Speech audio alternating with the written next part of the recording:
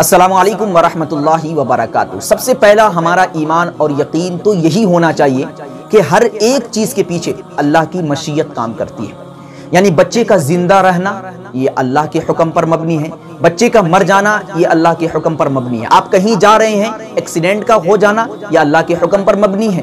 अल्लाह अगर चाहेगा तो एक्सीडेंट होगा, और अगर नहीं चाहेगा तो कभी भी नहीं हो सकता। ये हर एक मोमिन और हर एक मुसलमान का यकीन और ईमान होना चाहिए। आजकल बहुत से ऐसे बच्चे हैं जो माँ के बतन से ही मरे हुए दुनिया के अंदर आ जाते हैं, यानी मरे हुए बच्चे पैदा होते हैं। तो ऐसे में साइंसदानों और बड़े बड़े डॉक्टरों का कहना है कि उसके पीछे कहीं ना कहीं उस माँ का हाथ होता है। गफलत की वजह से वही माँ अपने बच्चे को कत्ल कर देती है और उसे एहसास तक नहीं होता। यकीनन इसके पीछे अल्लाह की मशीयत काम कर रही है, लेकिन सबब कौन बना, वजह और रीजन कौन बना, उस लड़के की माँ खुद। वजह क्या है कि हमल के वक्त जब बच्चा रहम मादर में होता है तो उस सूरत में माँ को ज़िंदगी गुजारने का तरीका बदल देना चाहिए। खास तौर से सोने और खाने पीने के तरीके को बदल देना चाहिए। खाने पीने पर मैं बात नहीं करूँगा। सिर्फ़ और सिर्फ़ सोने पर बात करूँगा कि माँ अगर गलत तरीके पर सो जाती हैं तो उसके बदन में जो बच्चा है, वह मर सकता है और मरा हुआ वह पैदा हो सकता है। खास तौर से जब हमल के आखिरी तीन महीने रह जाएँ तो उन तीन महीनों के अंदर उस माँ पर बहुत बड़ी ज़िम्मेदारी आ जाती है कि जिसके बदन के अंदर बच्चा है, जिसके पेट के अंदर बच्चा है कि वह सही तरीके से सोए।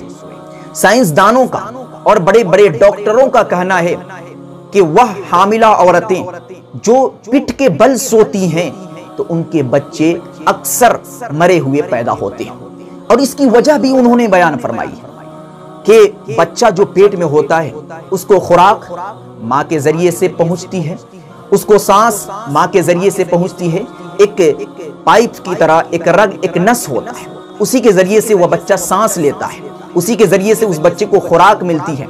जब वह माँ पीठ के बल सोती है तो सोने की वजह से वह नस दब जाता है। दबने की वजह से वह बच्चा सांस नहीं ले पाता है। दबने की वजह से उस बच्चे को सही वक्त पर सही खुराक नहीं पहुँच पाती है, जिसकी वजह से वह बच्चा दम तोड़ जाता है। आप खुद ही बताइए कि आप सांस नाक और मुँह से लेते हैं। अगर इन दो जगहों को बंद कर दिया जाए तो आप ज़िंदा रह पाएँगे। बिल्कुल भी नहीं।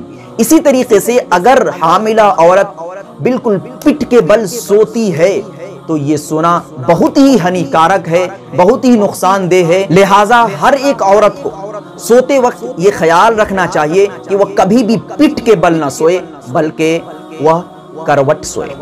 अब करवट, दाहिने करवट सोए, ये बाएँ करवट सोए, इसमें आपको इख्तियार है, लेकिन शरीयत ये कहती है कि आप दाहिने करवट होकर सोए, यही सुन्नत है। और भी सोने की बहुत सारी सुन्नतें हैं, किस तरीके से हमें सोना चाहिए, शरीयत क्या कहती है, आप सल्लल्लाहु अलैहि वसल्लम का तर्ज अमल क्या था, सोने में उनके मामूलात क्या थे, उस पर मेरी मुस्तकिल वीडियो मौजूद है एंड स्क्रीन पर आपको शो करेगी और डिस्क्रिप्शन में भी मैं लिंक डाल दूँगा। आप क्लिक करके एक बार ज़रूर देखें, खास तौर से वह औरतें जो हमल से हैं, उस तरीकों को देख कर ही सोने की कोशिश करें।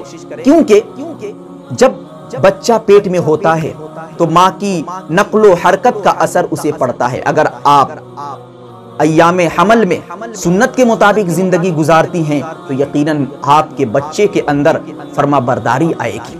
आपका बच्चा दीनदार होगा तो आप उस वीडियो को भी एक बार वॉच करें और जब हमल का आखिरी तीन महीना चलने लगे तो ऐसी सूरत में आप कभी भी पीठ के बल न सोए बल्कि करवट सोए चाहे तो दाहिने करवट चाहे तो बाएँ करवट सोए Thanks for watching.